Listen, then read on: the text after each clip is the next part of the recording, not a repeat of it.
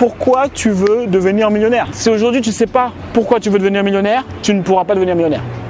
D'accord? Parce que euh, faire des efforts, parce que devenir millionnaire, ça va demander de la persévérance, ça va demander de l'investissement, que ce soit en temps, que ce soit en argent.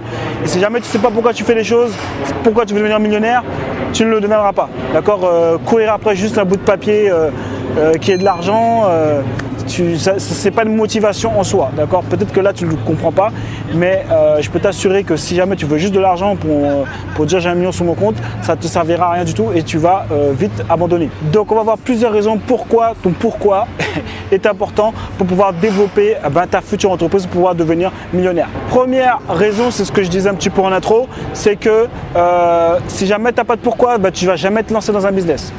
Et pour pouvoir devenir millionnaire, bah, il va falloir que tu te lances dans un business. D'accord Que ce soit du consulting, que tu développes une expertise.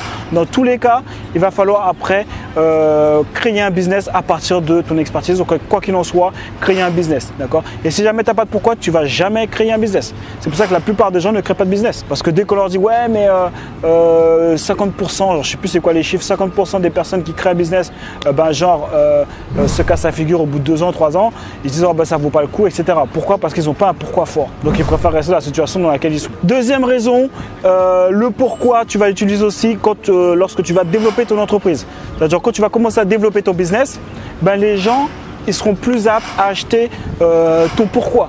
Pourquoi tu as créé l'entreprise. D'accord? En gros, la mission de l'entreprise. Tu Et les gens, du coup, en fait, ils vont acheter en fait ta mission au lieu d'acheter ton produit. D'accord? Donc c'est pour ça, que c'est super important que lorsque tu proposes tes services, que tu expliques pourquoi tu fais les choses, d'accord? Parce que les techniques d'influence, ça fonctionne bien dans un premier temps, d'accord? Mais pour pouvoir vraiment fidéliser un client, euh, il va falloir vraiment avoir euh, une mission, un pourquoi sur euh, lequel ton client en fait va se rattacher et va du coup être fidèle sur le long terme. On le voit par exemple pour Apple, d'accord? Pour prendre l'exemple d'Apple, penser différemment. D'accord? Depuis le début, c'était des rebelles. Euh, Steve Wozniak avec euh, Steve Jobs, c'était des rebelles.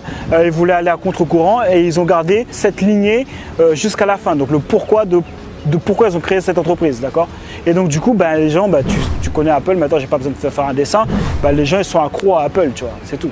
Il y en a qui sont accros, ou c'est où ils aiment ou ils n'aiment pas. Mais en tout cas, ils ont fidélisé leurs clients. Quand quelqu'un commence à acheter Apple, généralement, il ne change pas après. Troisième raison d'avoir un pourquoi fort, un pourquoi peut te permettre euh, d'avoir des résultats sans même savoir comment, sans même connaître le comment.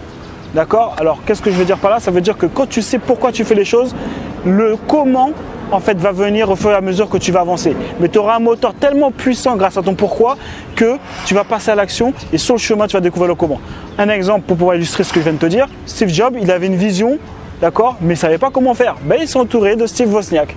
Voilà, donc Steve Wozniak faisait les ordinateurs et Steve, eh ben, du coup, accomplissait, enfin, euh, projetait la vision et était la vision de l'entreprise parce que Steve Wozniak n'aurait jamais fait d'Apple ce qu'elle est aujourd'hui si jamais il n'y avait pas Steve Jobs. D'accord Steve Jobs, c'était la vision, c'était le commercial, c'était la personne en fait qui euh, avait un pourquoi fort. D'accord? Et du coup, il a entraîné tout le monde et s'entourait des bonnes personnes. Parce que si tu ne savais pas, euh, Steve Jobs n'a jamais construit un ordinateur. D'accord? Et pourtant, c'est l'un des hommes les plus respectés au monde. Il avait juste un pourquoi fort et une vision. Donc c'est la base. Quatrième raison, le pourquoi permet de créer euh, une authenticité. Et donc du coup, l'authenticité, eh ben, crée la confiance avec ton client. D'accord? On va prendre un exemple. Euh, deux phrases différentes. Imagine, il y a un business, enfin une entreprise qui dit voilà, nous réussissons super bien, nous avons fait beaucoup de profits et euh, nous sommes super contents. D'accord? Donc ça, c'est la première phrase qu'une entreprise dit. Une autre entreprise dit Nous avons la conviction que l'entreprise aide un maximum de gens et leur ont permis d'être heureux ainsi que nos employés et nous avons fait aussi beaucoup de profits.